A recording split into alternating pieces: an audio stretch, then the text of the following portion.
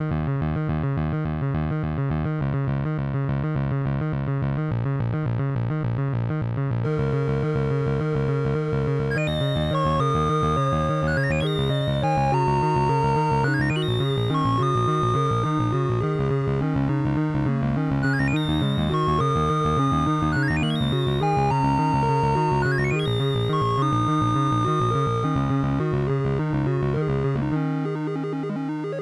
Hello and welcome to the Large and Unnecessary First Player Token podcast. This is episode 92. My name is Chris. I'm David. Is that it? Looks like it.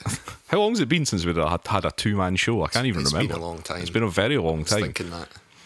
Uh, so, just to say, Pawel uh, has come back from his holiday and gone straight into work. Yeah, another another of Pawel's mysterious holidays that he seems to take. Off in Norway this time. What's he up to? I don't. Nobody knows. Have you ever seen like Pawel's holiday plans? Like, see when he, when he decides to go Do they, somewhere. do they go very close to like military installations? um, Because this is my suspicion. Huh, that's a I'm good starting point. to think like he spends an awful lot of time on the west of Scotland. I mean- Just like you know, he's like, oh. Where you? Oh, you're off to Loch Long again, Pawel. that's, a, that's, a very, that's a very big, big lens you've got on your camera.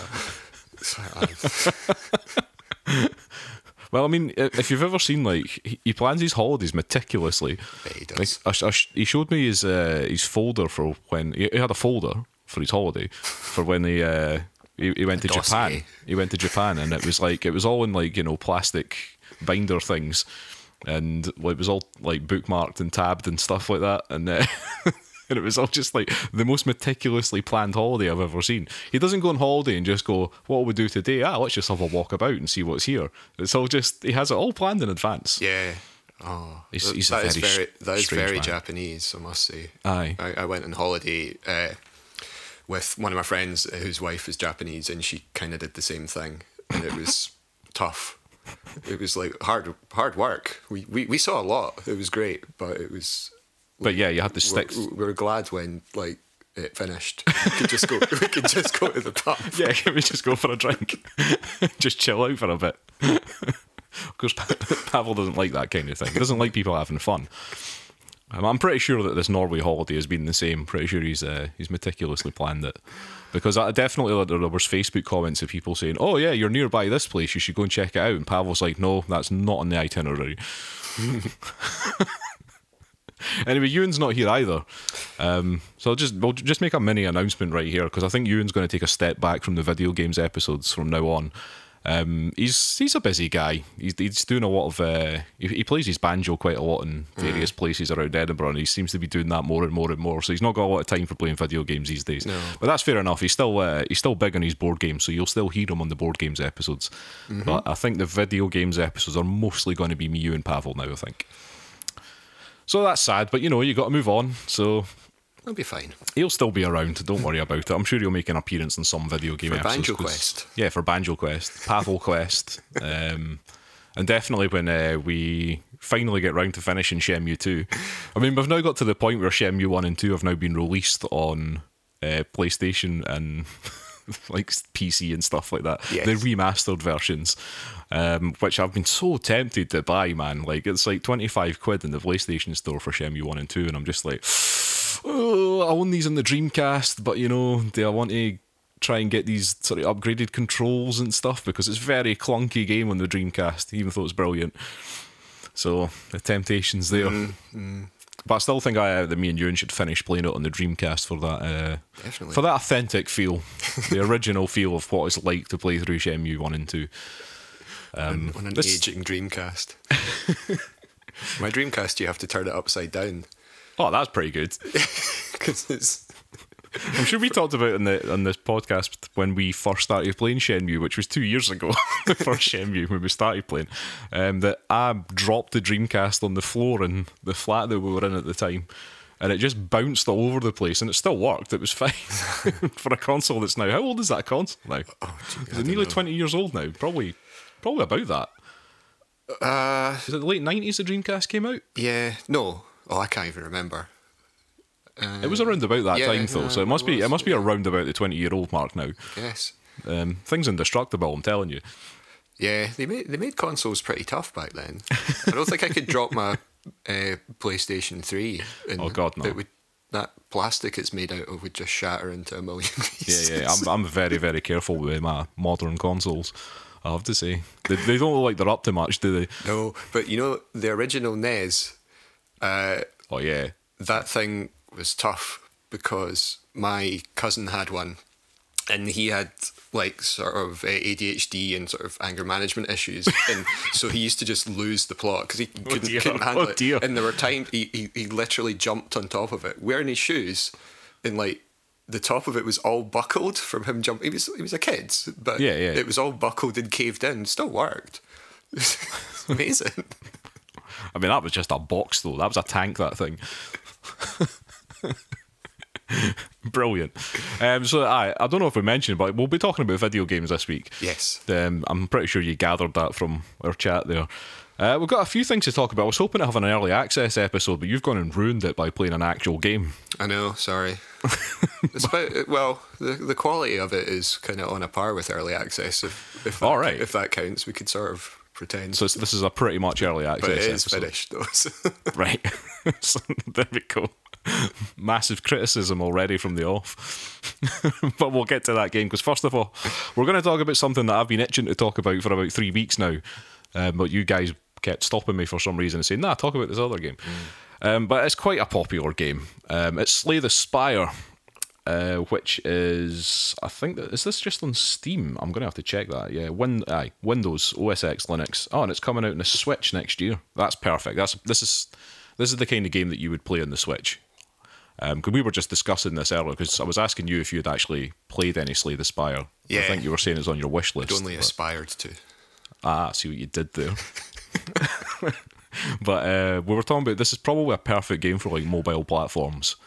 Um, mainly because, as I was saying, it involves no sort of like finger dexterity or anything. This is because it's a turn-based uh, game. Um, it's a it's a roguelike, which is one of my favourite types of games because they're very very addictive. And you know, I do a lot of travelling about on trains and stuff, so being able to play things like that is great. Are they calling? Have they called it a rogue like or a lo- rogue light? Um, it's a roguelike. Right. Ah. See this. Come on then, tell me what the difference is. Well, I, they've come up with this new term, and I think it was. I assumed it was because some people were saying uh, these games are not roguelikes Yes. based on the sort of definition of what a rogue like used to be, uh, in that it was a character, a tile, you know, a character, uh, text characters, and there were certain certain key things that, that had to have, uh, you know, the procedural generation, but permadeath also. And a lot of these games that are now being described as roguelikes don't have uh, permadeath. Some do, but not all of them do. So they've. I thought that's what they'd come up with this new term, roguelite, which is Ye- weird. Well, but anyway, it's it's a very uh, like muddy term. I think I don't know. It's it's really confusing because there is a difference between roguelikes and roguelites. And I think roguelites are the games that are more like the original Rogue. I, thought it was the other way believe. around. No, see, I, No, because maybe you're right. Because rogue, well, it might have shifted because roguelike was a term way before these new generation of games. Like roguelike, NetHack is a roguelike, for example. yes, Because it's not rogue. Because it's like Rogue. Yeah, but it very, very, very, and, all, and the other like Angband and the various others. Uh, so that was around, uh, you know, in the nineties. Uh, and roguelite is more recent. But anyway, I'll, I'll, I'll do some research So- on this and come back. I'll let you know what I Unexplored. find out. Unexplored is a game that I quite enjoy, and that's a that's considered a rogue light, I believe. And I don't know if it's just the developers that call it that, but Yeah. Um, but I mean that's probably more like rogue than some of- the some of the others, yeah. So that's why I'm thinking the rogue light might be. The, oh, right. I'm really confused. Like, write in and tell us. Write in and tell us what the difference is here. Um, settle an argument. But I mean, I, I don't know. Should we even get involved in that kind of chat? Because does it really matter? Because I think that the thing is that rogue like games, if you want to, these these kind of games that do have these things. I mean, let, let's look, up the Wikipedia definition here. Um, procedurally generated levels, turn-based gameplay, tile-based graphics, and permanent death. That's what they describe roguelike Yeah, that, as that being. to me that's the original. Uh, That's the original that's term. what it was with the tile-based graphics, and uh, so this game certainly doesn't have tile-based graphics because it's It doesn't. it's not that kind of game. No, but it does. But I understand, like, I understand why people describe them as these things because, like, why bother coming up with a new term for them? Unroguelike. I don't know. Like, what's, what would the term be? Ro- roguish. roguish. Yeah, that would that would probably work. Let's go right. So, Slay the Spire is a roguish game. All right. Um, now it's a. It's interesting because it's it's one of these games that hits that sort of crossover for our podcast because it's almost like a card game, um, but it's a deck building card game. And deck building games are quite fun games to play for me. I think when we play sort of tabletop games, I quite like games that involve you know you get to add cards to your deck every so often. Um, some of them not so much.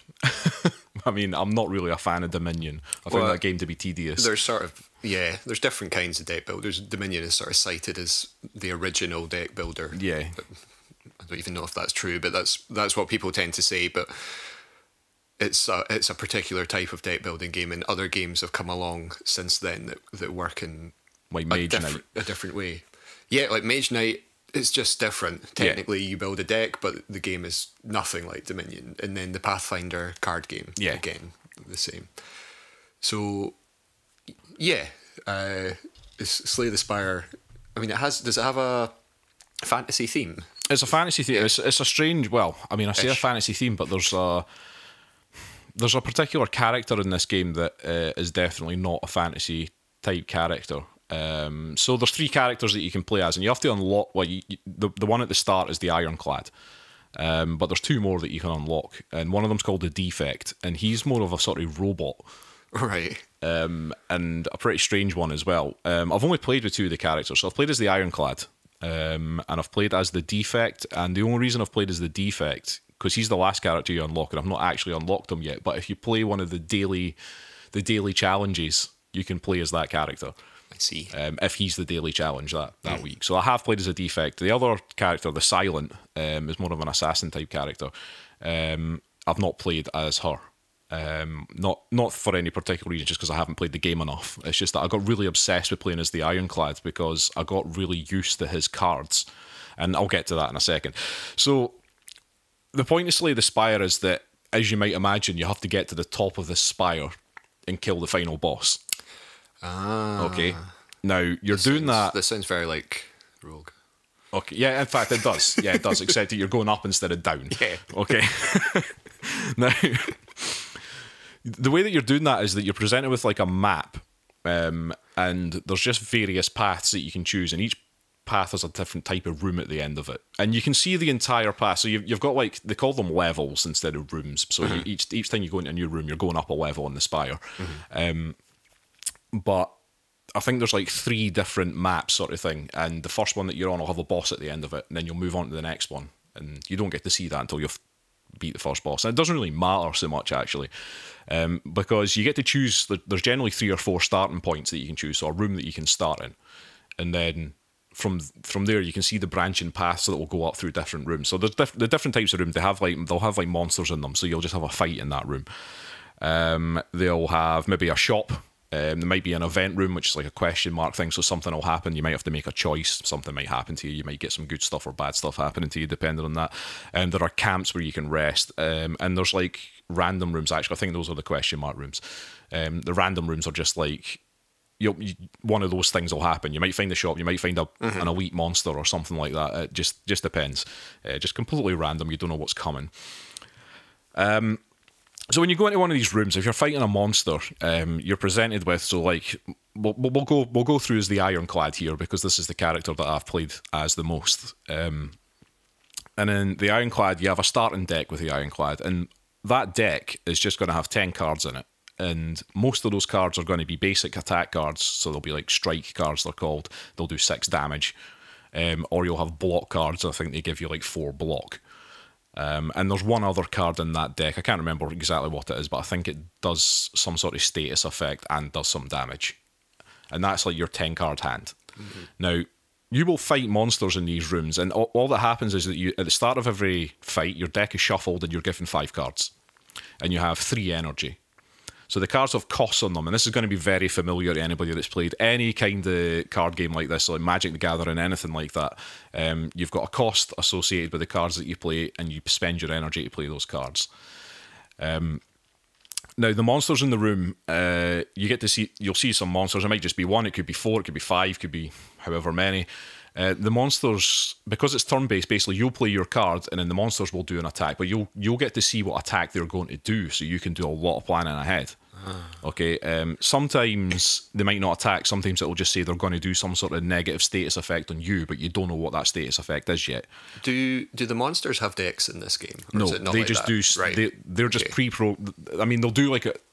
They're pre-programmed, but mostly most of the monsters will just do something random. But some of them have sort of pre-programmed attacks, so they won't do something until they've done this first or something like that. You know. Um, so yeah, you might see that the monsters are going to do some sort of status effect on you or on themselves, or they might be healing, or they might be blocking, or something like that. So you get to kind of see what the monsters are doing, so you can plan your turn. So it might say like this monster's going to hit you for seven damage, and then this other monster's going to hit you for four damage twice, and that's that's what like a sort of important mechanic in the game, um, because one of the things about this game is that it's actually quite deep in terms of how you can plan for things.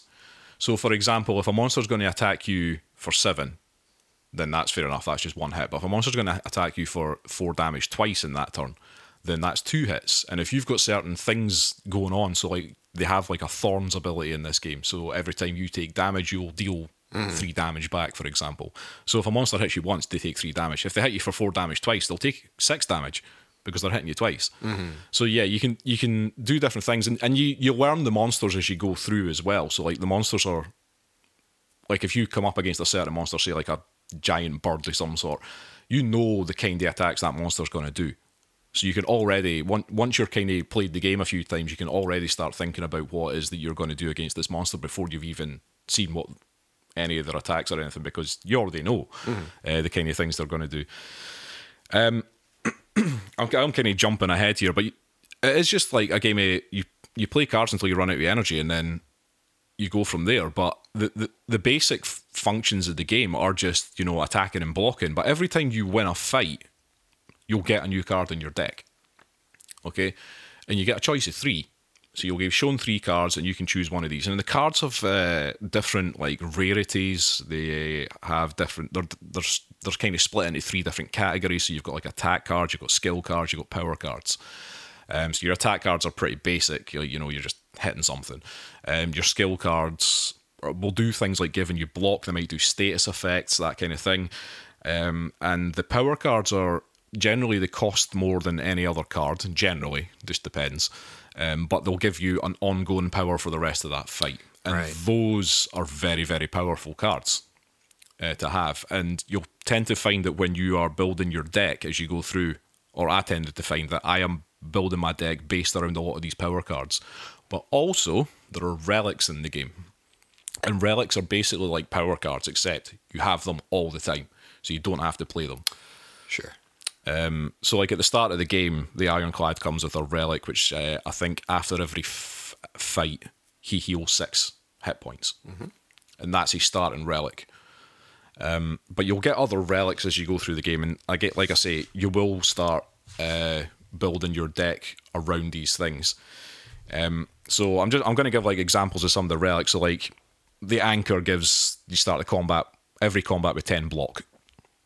Um, the pen nib um, every tenth attack is double damage. Right. Uh, bottled flame. As soon as you pick up the bottled flame, you choose an attack card that's in your deck, and that card is always in your hand at the start of the fight.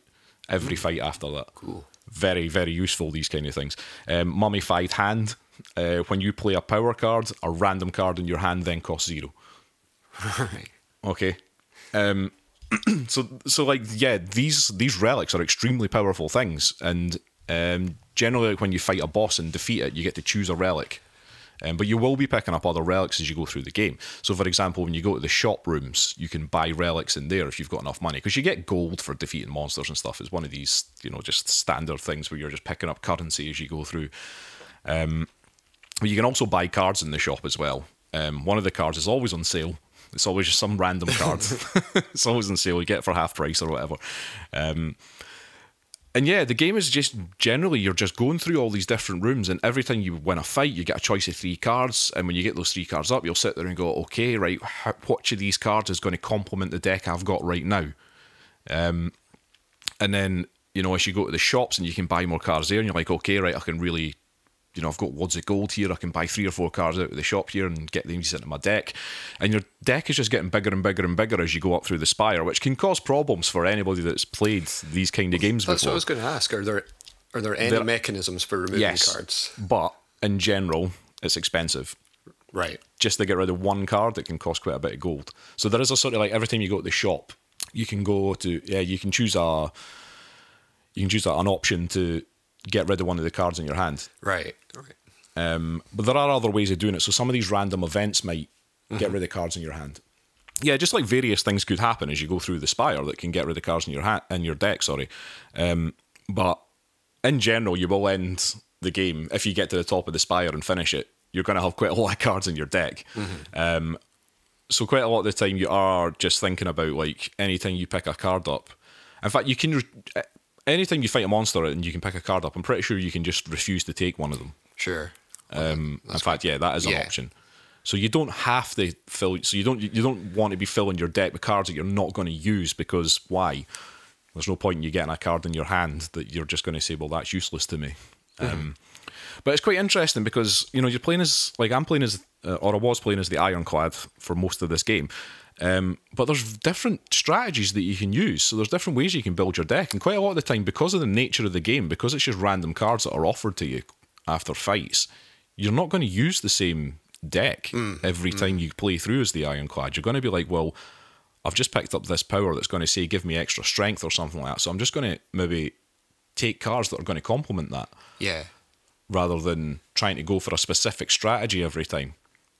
So it's it's it's fun to just play with it, just to go through and see what these cards are. And every time you like play through and you die, you'll get experience. So if you die, you're dead. That's it, permadeath, and you have to go back to the start of the spire and play with a new deck. Yeah. Um, But everything that happens, you'll get unlocks.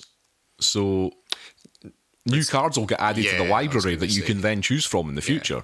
So there's there is def- there's definitely things that happen that keep you wanting to go and play back through the spire again and well, what are these cards going to be next time? You know, um, and definitely some of the more powerful cards come through doing that. Um, uh, there are other things. The, the the actual decks themselves, the cards themselves, are coloured.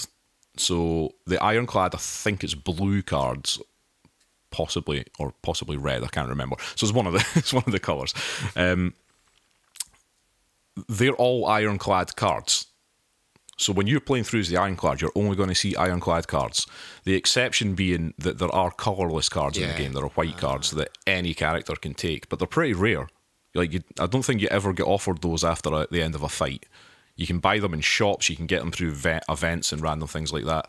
Um, some relics will do things like at the start of every combat, you'll get a random colourless card in your hand. Some of these colourless cards are pretty powerful as well. Um, some of them are just healing cards, which are few and far between. Uh, these healing cards, so it is it is kind of quite useful to have these things. Um, the cards can also be upgraded.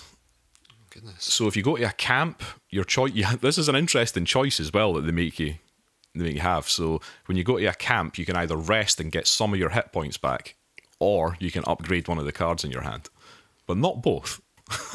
so so you, whenever you go to a camp, you do have this choice. And every time I went to a camp on like my first or second run through, I was just like, no, no, rest, heal. We need hit points. I need hit points. I need hit-" But that isn't the best thing to do. some things it's better to upgrade a card because upgrading a card can it can do one like it generally does one of two things. It either lowers the cost of the card or it improves the abilities on the card itself. So Yeah.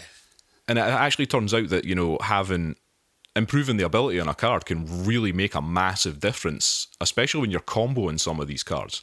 So like when I played through the, one the first time that I slayed the spire, um, and it was it wasn't it was maybe like my tenth, maybe eleventh, twelfth run through, something like that, somewhere in that region. I had a ridiculous like combo um, going on where basically I had cards in my hand and relics and all these things that that made it so that I mean, I never really explained the block mechanic, and I should probably do that before I go any further. Um, but the block mechanic basically just anytime you get hit. So if you play a bunch of block cards, so let's say you've got 12 block, the first 12 hit points you would lose, you don't lose. Okay, but any unused block at the end of the monster's turn that you have um, disappears. So you go back to zero Right, block. yeah. Okay, but there's cards that like the Juggernaut, uh, the Juggernaut, the uh, the Ironclad can have, and I think it's called the Juggernaut card. Um, no, no, it's not. It's called the Barricade card, which means your block doesn't expire at the end of the monster's turn.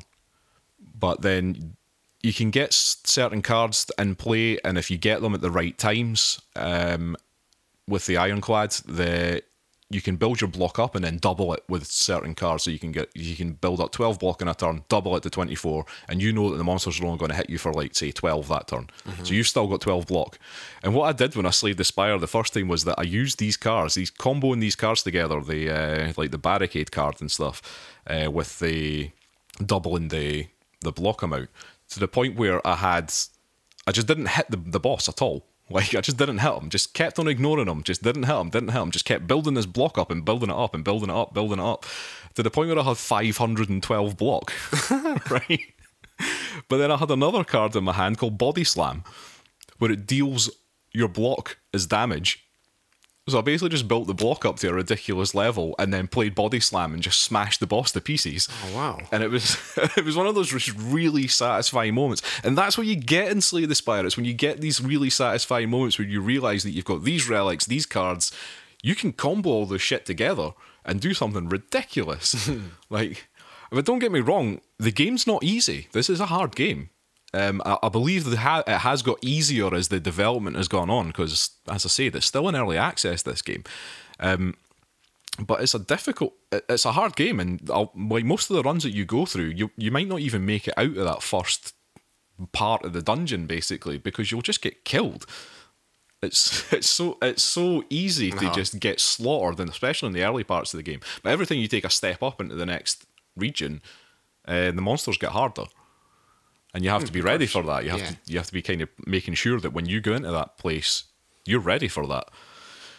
Um, and th- there's all the other things. I mean, I don't want to go on too much, but there is even more going on in this game than you would imagine. Like status effects, things like strength adds to your damage, doesn't expire, but then there's things that monsters can do that can get rid of your strength. Uh, you can apply weakness to monsters with certain like skill cards or attack cards might do it as well. Weakness means that the monsters do 25% less damage to you. Um, you can make them vulner- vulnerable, so they Yeah. get 50% more damage. Yeah, there's there is there's a lot going on in this. Um, it's it's great. I love it. It's just such a it's an addictive game, and it's so easy to play. And the game helps you along. The game holds your hand a little bit because it doesn't. I mean, it doesn't. Uh, doesn't tell you exactly what to do, but when you hover over a card, it tells you exactly what all the status effects on that card will do. For example, and if you hover over a monster who's going to do something, it'll tell you what that monster is going to do to you.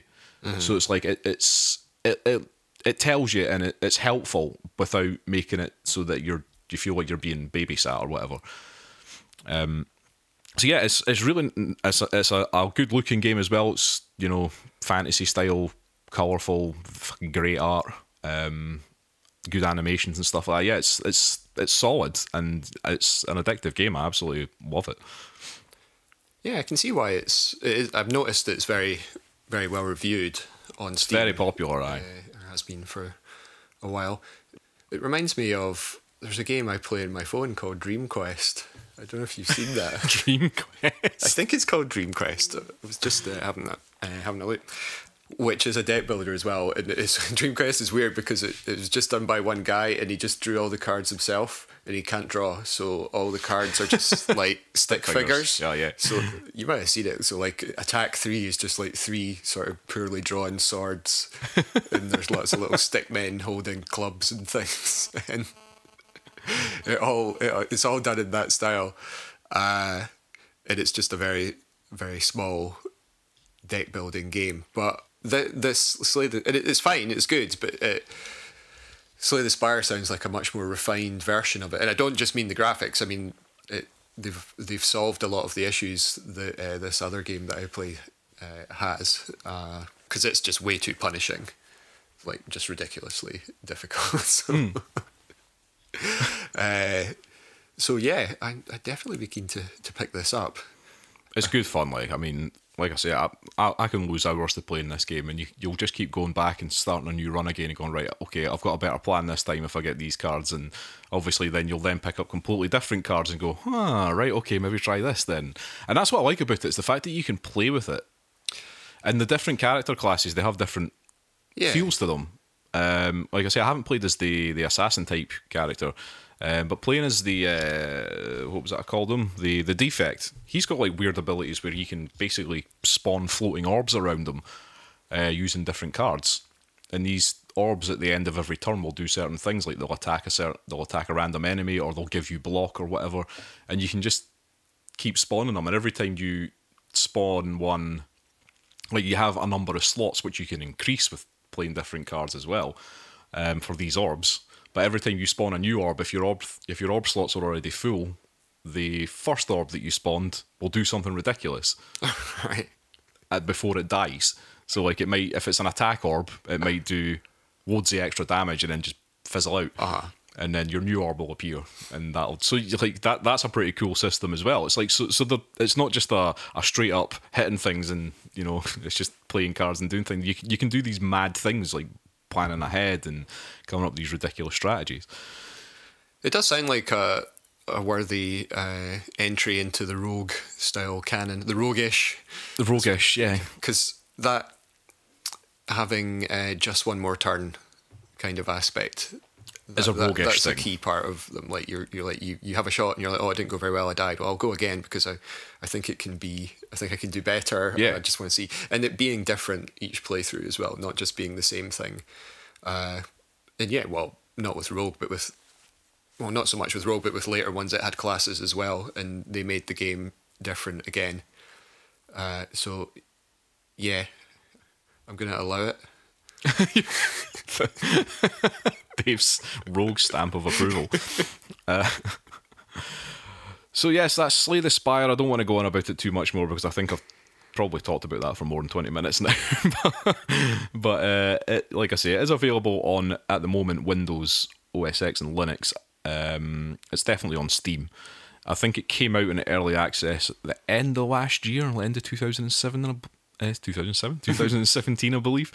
Um, I think it is getting its full release at some point this year. Uh, Oh, it doesn't sound like it's missing much. I mean, No, I think it's pretty You refined could add now. extra characters, but beyond that, it seems like it's Yeah, I think it is like pretty full- much finished yeah. by the looks of it. It seems so polished that um, I, if if they hadn't have put a massive message at the start of the game saying that this game's in early access, I would never have guessed. Hmm. Put it that way. Um, cool. So yes, it's by uh, Megacrit LLC. Okay, right. Let's uh, let's move on, Dave. It's your chance to now talk my year off. So, tell me about a hat in time. Yeah, uh, it's a, a curiously named game.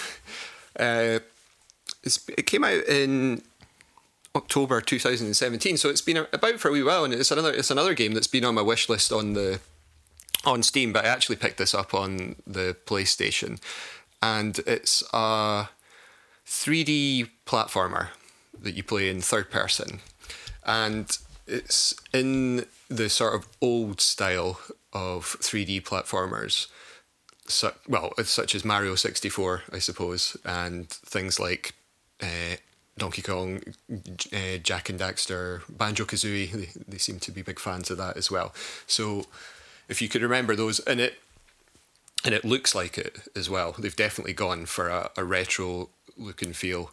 Uh, the way the, the way these games work, it's pretty standard. You can run around, jump off platforms. You got your double jump. You've got your wall, Classic. your wall jump. Uh, you can slide, which is a Mario thing. Uh, slide in your tummy. I don't know Uh, if that's exclusive to Mario, but No, they do. yeah, Mario 3D. I understand what you mean. Yeah, yeah. Well, it it's a more of a Mario, Mario thing. 64 because it it wasn't from the 2D Mario's. Uh, and you play as this little girl with a top hat. This is where the hats come in. You start the game, and she's in her bedroom on her spaceship because she has a huge spaceship that she's uh, traveling home in. Uh, and that sort of serves a little bit as the tutorial as well. It gives you a chance to sort of leap off the walls and jump about, and Right. she's, she's got a big pile of cushions in her room that you can jump into, and a bit like a ball pit with cushions. Uh, and you go down to the main, uh, the bridge, if you like, the, the main room.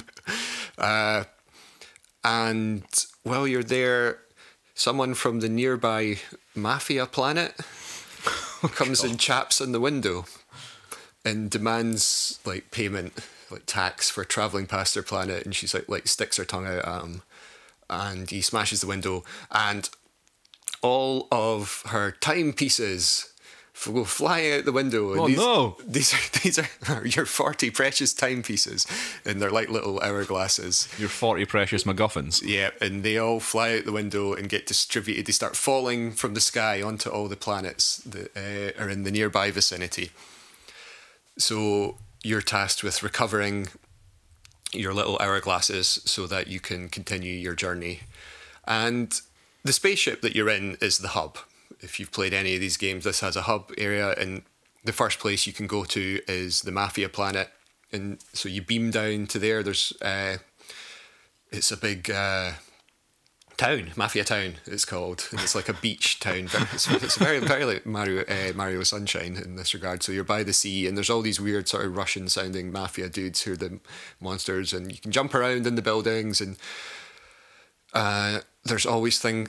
It's, it's a collectathon. I found that out. I didn't know that was a term today, but I think it is a, a kind of apt term for these kind of games because you collect things and like you're collecting the timepieces, but there's umpteen other things for you to collect as well, like the the little jewels. They're called Pons, P O N S. Uh, but they're basically the same as Mario's coins or Sonic's rings or whatever. You just run around collecting those. They're everywhere. They're a currency. You can use them to buy stuff.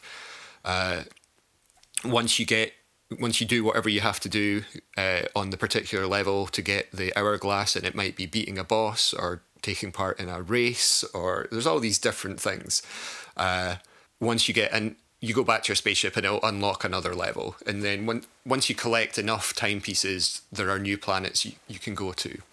Uh, and there are different levels or acts, as they call it in this game. And it's non linear. So you don't have to do things in order. You, you know, you you stuff unlocks faster than than you do it. So Yeah, if you see yeah, what I mean. So Aye. you can go to one place if it's if you don't like that particular planet or if you're finding a level too hard, you can go somewhere else. It encourages you to revisit levels because there will be places you can get to that you couldn't get to before because you have unlocked new powers, which is where the hats come in because she has all these different hats that she can wear. Uh, I did think this is where this was going with the hats. yeah. Uh, and you know, you start with a hat, her top hat, which doesn't really doesn't let you get anywhere. It shows you where you need to go. Like it shows you where the uh, hourglass might be. Uh, but then you get new ones like one that lets you sprint, one that lets you uh, hook, uh, not hook shot, uh, one that lets you throw little bombs, uh, and various other things. Don't want to spoil what some of them do, but uh, and there's there's there's all these other little things that you can buy and upgrade. So there's like little pins that go on your hat that give you supplementary abilities. Like there's one that sucks in the collectibles in a certain radius.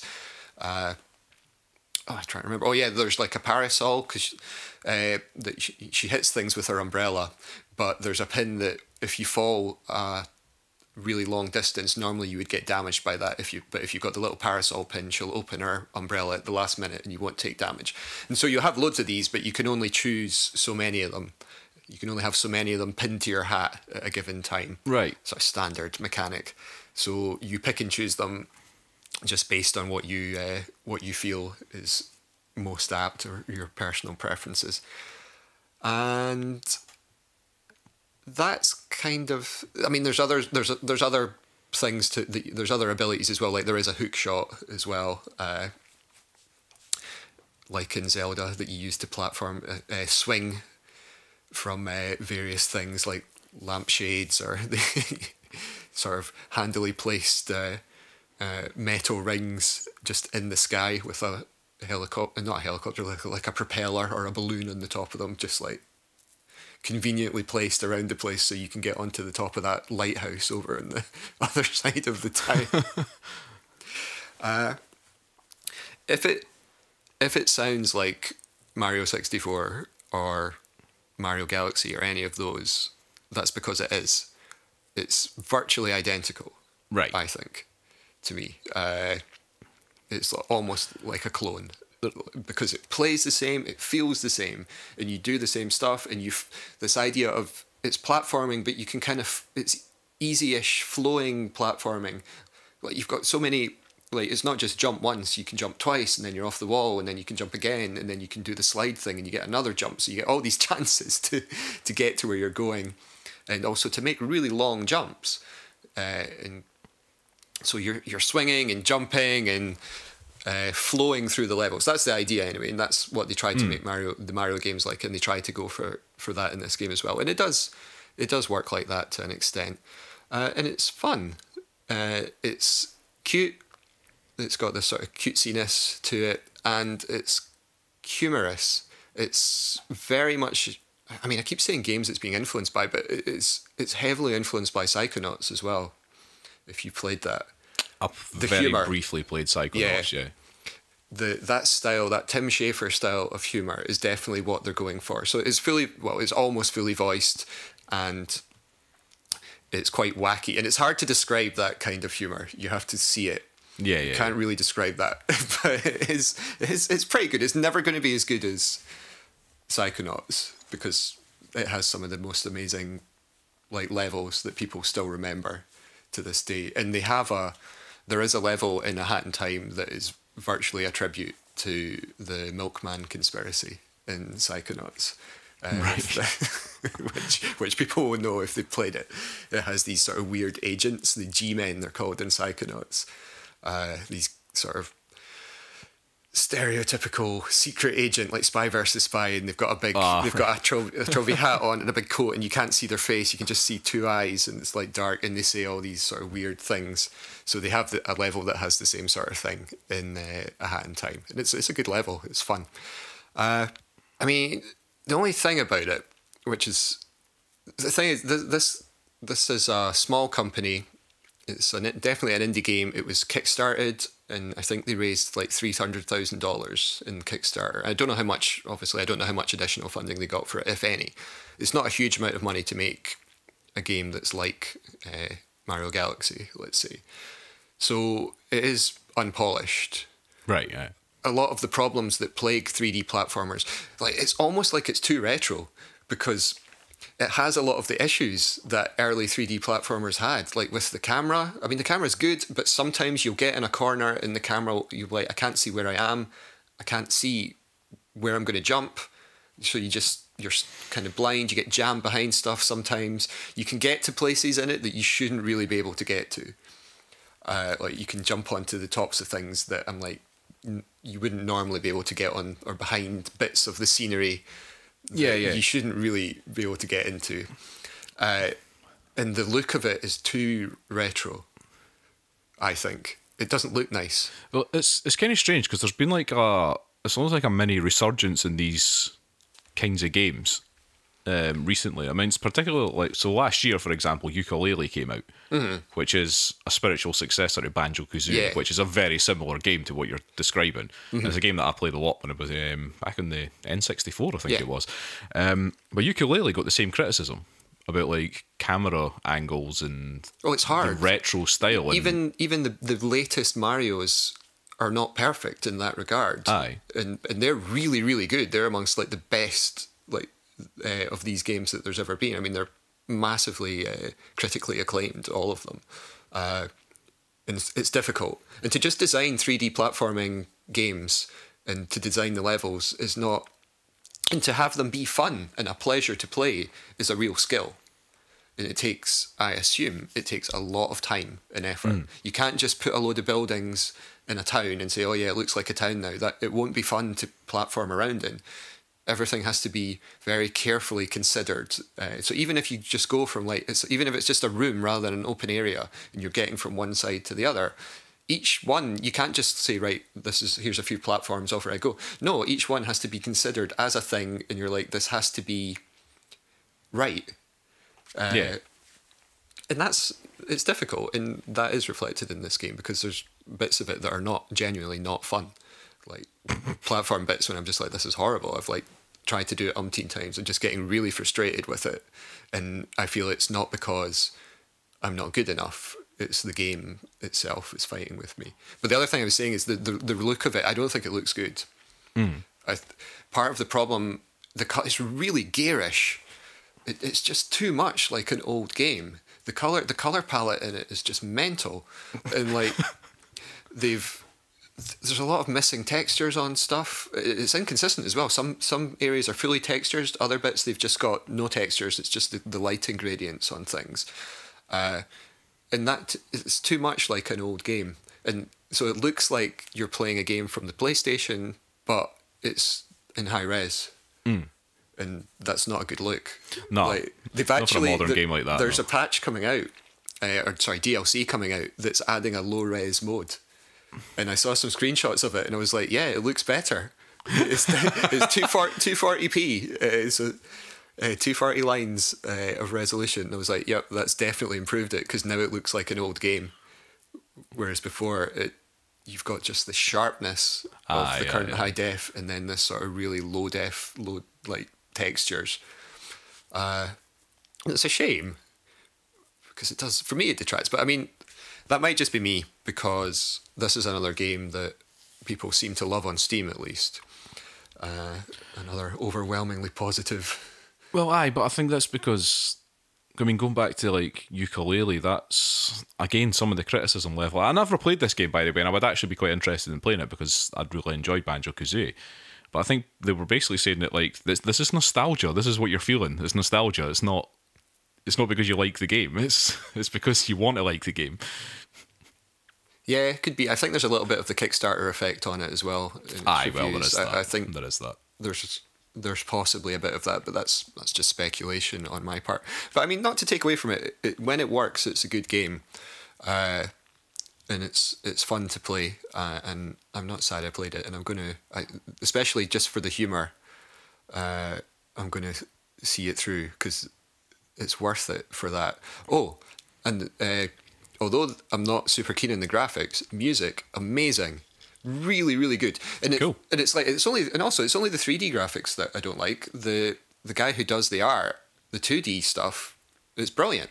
It's just this weird retro 3D realization of it that I I'm not super keen on. But everything else is uh, is really fine and accomplished. Uh, yeah, and you can. It's out on just about everything. Uh, Mac OS, PC, PlayStation Four, Xbox, and apparently even coming to Switch. It's coming to the Switch. Yep, I was just going to say. Which people that will be delighted about. Um, and that's by Gears for Breakfast. Yeah, What a name! I know. They've got they've got a good logo. It's like a big pile of gears and then sausages and eggs and things on Oh, top of them. that sounds pretty good. And uh, speaking of Psychonauts, apparently Psychonauts Two is coming out very, Oh, very people soon. will be uh, well. I, I, will be I would all be over that. excited about that. Uh, I own Psychonauts. I might go back and play it. it'll be difficult because it's old and the platforming in it is old. Ah, and it wasn't even at the, even at the time people weren't they were like they didn't play it for the platforming they didn't. Yeah, yeah, like yeah, there's yeah. co- there was like the various things that you collect and it was a bit mm, can't remember what they were called the memories or something but the uh, the humor in it in the story in it is just bonkers Mm-hmm. That was one of the things I did remember about because I, I, Yeah. I can't remember exactly how much I played. This was a long time ago. and it gets better later this is the other thing you like the first few levels especially the the first level is like ugh. Aye. It's like it's pretty horrible. Basic braining, I think it was called, uh, and uh, it's it's not. There's there's nothing too exciting about that. And then there's a couple of others after that that aren't that much better. And then it really just kicks into gear. With some of them are just insane. It's such a good game. So that'll be interesting. People have high expectations for that sequel. Excellent. Right. Thank you very much, Dave. Hmm. That's not an early access game. No, Okay, right, let's move on. We've got one more thing to talk about. Hey. Um, something that uh, you and I have been playing together Yep. as a cooperative team. Pleasurable team. A pleasurable team. A pleasurable time. Pleasure, pleasurable time on the high seas as we've been playing Raft. which is uh, another uh, survival game. So you know we've fallen into the trap of playing survival games together again, Dave. Uh, another survival crafting game, but they're just. Just when was it? Just when I think I got out, they pull me back in. it's very true. I found myself playing Seven Days to Die again the other day, and I was like, "What am I doing? like, why am I doing this?" Uh, anyway, so in Raft, Raft's a bit different, a wee bit different in terms of the It is. the the, the style, the theming of it, and what you actually get up to in it. Um, because you start the game mysteriously floating in a pretty much empty sea um, on a raft, which is tiny. Um, it's if you want to talk about it in sort of gamey terms, it's a two by two square raft, um, and what I mean is that it's made up of four small squares. Um, and you can add more squares to this raft as you go through, and you can make it absolutely fucking massive, which is basically what me and Dave did. Uh, but we'll get to that because, like you say, you can play this cooperatively. So I don't think I think I had started building the raft a little bit more before you joined in the game, hadn't you? Yeah, I think you, you did a lot of the the sort of Did- I did early the groundwork. early groundwork. When I turned up, there was uh, quite a sizable raft, Yeah. uh, if I recall. But yeah, so you start the game on this raft. It's tiny, and all you have um, for companions is a hook, which is on a str- is on a rope, and a shark, who is uh, constantly circling your raft, and every so often will just latch onto it and try and tear a piece off. Um, The shark is a bastard, um, but he's, he's he's a constant feature in this game. Uh, so your your hook uh, will be used. This this is going to be your primary tool for the the first uh, hour of the game, pretty much, and probably longer. In fact, you use it all the way through. Uh, it has it has another use, Yeah. Um, but we'll get to that later. But yeah, it, it is your primary tool in this game, and certainly at the beginning of the game, it's pretty much all you'll use. Um, so there's various bits of debris just floating about in the sea. So there's bits of plastic, there's wooden planks, um, there's sort of leaves, giant leaves floating around, um, and there are barrels Delicious barrels. delicious barrels, which can have various things in them, um, all of the above, and pretty much some other things, maybe bits of food and stuff like that. Um, Yeah, because you got to eat in this game. yes, you got to eat, you got to drink, and Can't drink the seawater. yeah, don't drink the seawater. That's a bad idea. it, it doesn't help. Um, so yeah, you're using your hook to just basically throw it out into the water, and then you can just reel it in, and anything that it, that you go through basically with your hook as you're reeling it back in will be hauled in towards you. So you'll just be grabbing planks and grabbing leaves and grabbing bits of plastic, um, and when you do that, you can add extra bits to your raft. So you can go into like you've got a crafting menu that you can, you know, you're going to have to make a hammer. And so you make your hammer, and that can let you add extra bits to your raft. And you can make things like spears, so when the shark attacks you, you can just go and stab him in the face a few times, and that gets rid of him. He doesn't like that. He doesn't like that at all. In fact, he gets more and more bloody the more you do it, uh, and eventually he will die. And you will have a brief respite from the the shark behaviour, and then five minutes later, the shark's back. He's circling your raft again. So yeah, you can like you, you can expand your raft. You can just put more sort of foundation bits down. So you need like wood and plastic to do that. Um, and you can build little walls around the side of it if you want. Um, pro tip: don't build walls around all of it because if you fall in the water, you're not going to get back on the bloody thing if you do that. Yeah, it's, it's difficult enough when there isn't a wall. You spend a lot, a lot of time when you fall off and the shark's biting you in the arse and you're trying to get back on and you're like, shit, I'm under the raft. Panicking. So yeah, I did a lot of the early groundwork before Dave joined in. I had built. Uh, I don't know how big had I got that sort of floor area of the raft. I don't think I'd built the second huge, level yet. But no, but we had the we had the basics. So we had the uh, cooker. We had a, I I had the set up a cooking. Was it a bucket? Possibly something like that. Sort of like a brazier, uh, and a water purification type deal. Yes, Uh, which is very inefficient. yeah, you were boiling the water, so Yeah. you had to burn your precious planks. Uh, so we had that set up in like a chest or two. I think that was pretty much it. And the research table, I think, was the other thing. Oh yeah, got, had. of course. There's a research table. Uh, So yeah, I mean, the game's kind of driven by the crafting menu it- yeah, because it you would do in nothing game. in this game if it wasn't for the fact of well, what happens if I build this thing that I can build? It's true. Because that's basically all that happens. Because I mean, we got to a point in the game. Well, I'm skipping the end game here, but we got to a point where we're just like, well, there's only two things left that we haven't built yet, so let's build build those things and see what happens. Mm. And that was basically it. Because this, I mean, the thing is, the game is in early access, like, and I think it's quite early access. Um, I mean, it's a solid enough game as it is right now. I wouldn't say it's buggy or anything like that. No, Um, no, it's not. but I think that the the actual sort of story side of it, which is virtually non-existent to be honest. Um, but I They're- think they're still. I th- Well, I haven't been onto their uh, forums or anything to check, but I get the impression they're still. they're still working on it. Yeah, I don't think they quite know what they're going to do with it. Right, yeah. get I got that impression. Yeah, they're they like, it, and I can understand that because it's maybe difficult to know what's what's for the best uh, to do with this game in terms of the story, because and like the shark as well, because people are people have mixed opinions about the shark. Uh, Mm-hmm. Some people are not; they just don't like the idea that he comes, attacks you, eventually you kill him, and then And he then just he comes, comes back, back again, again, and he never. That that's this. It never changes. Yeah, I mean, there's one thing you can do. You can you can make shark bait uh, and throw that into the water, and he'll munch that for a bit, which gives you a chance to uh, go diving. But that that's the limit, really, of your interactions with the shark. So he's not a particularly dynamic or interesting adversary, shall we say? No. But so some people feel that way. I don't mind. I, I think he's quite fun. Uh, just I quite like it. So, but again, it's hard to know what to do, uh, and I think there's the risk that if they make any drastic changes, you'll lose some of the spirit of this game because it's the way it plays is quite unique, and it has a certain feel to it, mm-hmm. a kind of somewhat relaxed feel to it.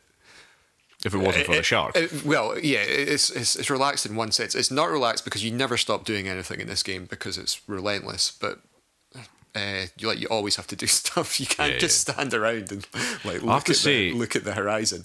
because I in this game, I've I've never played a survival game where your food and water level goes down so fast. Yeah, it's pretty. Yes, you, like I say, you it's just can't. On. You're either you're like, okay, what do I do next? Oh, I'll probably eat something, drink. Yeah. Okay, right, let's go get this. Oh, I'm running out of wood. I better address that. And then, oh, what were we crafting? Oh, we need to go and make something for that. So we were constantly on the go.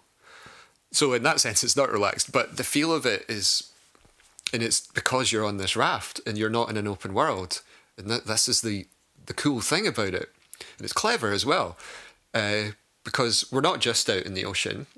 Every so often, the raft moves. You move in the current, and also you can build a sail. Or you can paddle. You can paddle as well with your paddle, which will break after about Like twenty strokes. yeah, the durability of the items is, is quite uh, is quite low as well. Well, that's another thing. That's- another- yeah, that's the why game is full on because of that. You're like, oh right, oh, Well, that's my spear that. broken. Yeah, oh, I, I'm sure I had a fishing rod. No, okay, uh, make make a new one of those, and you you encounter other things in the sea, other rafts initially, yep, abandoned rafts. so that's quite nice. They have some stuff in a chest, and generally it has the abandoned rafts have one chest on, and when you empty that chest, the raft sinks. For uh, some inexplicable reason, the raft just goes bye. I don't, don't really know why that is. Maybe that's, I don't know, maybe that was a balancing. Maybe people were exploiting that somehow. but I can't think what it was. Uh, and the other thing you encounter are islands. Yes, And they're tiny. These islands. They're they not big at all. yeah. But and it's just so you'll be like, it's and it's uh, it's not that you're traveling a world. There's not a map. Mm-hmm. These are just Or even a compass. Yeah. so you're just in a in a infinite ocean, really, uh, in a sense, and so you're not really moving in a direction. You're not going anywhere. So these things are just events that are triggered every so often. A, a raft will come past, and or it will say we will spot an island off in the distance, and then we have to try and get there by a combination of sailing and paddling, possibly. Uh, and I just and it's that cycle because the the islands have resources on them, as you, probably guess. Uh, so I just really enjoyed that that cycle of uh, here's an island, and we'd go up to it, and you can build an anchor eventually. Because initially, initially we Oh didn't. Oh God, aye. Initially, we didn't What have an anchor, so we just we just try and keep the raft next to the island by, By pointing the sail at it. pointing the sail, paddling. So like, and then Chris would be like on the island, and I'd just be on the raft doing other stuff. And then Chris would be like, "Dave, you're like miles away now." So Dave, like- where's my raft gone? I'm not sure what happened. What happened? We never. What would happen if we got really far apart? Oh, no, don't actually. We did That's just, an would it interesting just point. warp one of us to, to the raft or something? I don't know. We never tried that because there must be a limit. Because, like I say, it's not a true open environment that you're in. Maybe we just hit an invisible wall and see you can't go any further apart. What would be quite funny if it would be if it just kind of dragged me off the island into the water towards you. That's probably what it would do. That's probably what's happening. But yeah, yeah. It is uh, th- this. So it is a survival crafting game, but you're right. This is a survival crafting game with a completely different feel to it from other survival crafting games, and that's what makes it unique and and and fun. Yeah, and it's Um, it's counterintuitive and- because you'd be like, oh, it's a survival crafting game without an open world. It was like, well, Yeah. how- how's that a thing? But it is in this game, and it does work. And base building in this game, if you want to call it base building because it's raft building, but base building in this game is quite important.